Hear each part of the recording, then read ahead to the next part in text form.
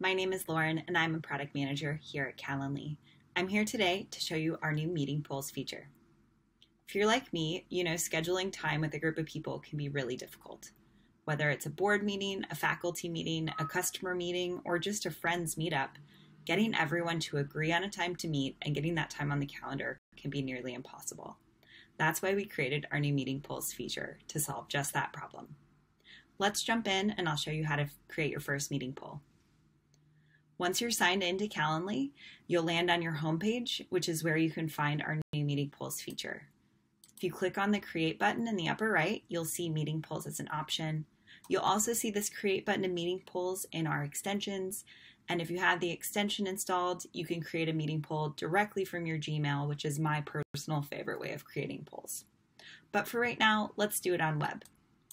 When you click meeting polls, we'll pull you into a couple quick steps to set up that meeting poll. First, we want you to select the times you want to offer for this meeting. We'll pull in your connected calendar so you can see what other events you have, and then you can select the times that you want to be able to offer for this event. You can select up to 20 times for this meeting, and these times can even overlap things that are already on your calendar. So let's pick a couple times here and then go on to the next step. On the second step of the meeting poll setup, we'll ask you for the meeting details. The meeting name will be populated in the calendar invite we send to all your invitees when this poll is scheduled, as well as this location.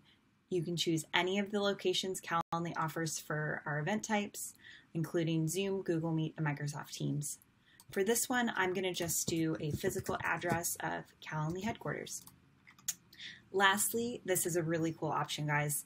We have this option to reserve times. Now, reserve times is going to actually put calendar holds on your calendar to save the time that you're offering in the poll.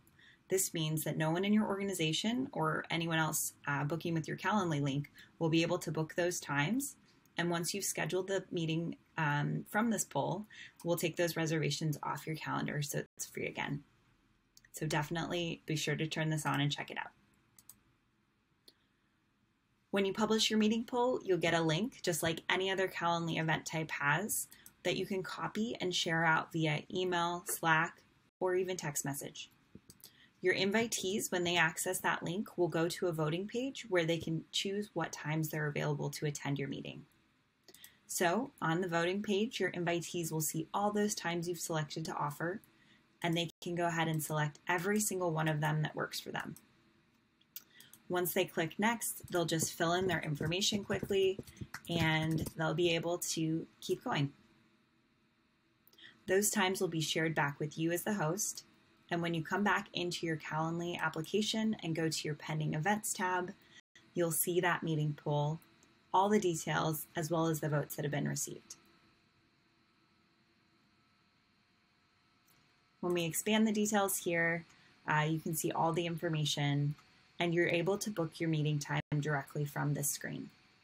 You can see how many votes you received for each time slot you've offered, and we're even going to highlight the top times for you to make it really easy to book this meeting. When you're ready, just click Book Meeting Time. We will confirm the details with you and the invitee list. The invitee list will include anyone who participated in this poll, not just people available for this time slot. Click Book Meeting, and that meeting is scheduled. All of your invitees, as well as yourself, will have received a calendar invitation to your email for the meeting time you've selected. You can also see and manage that meeting right here in Calendly. We're really excited about this feature and we hope you'll check it out and let us know what you think.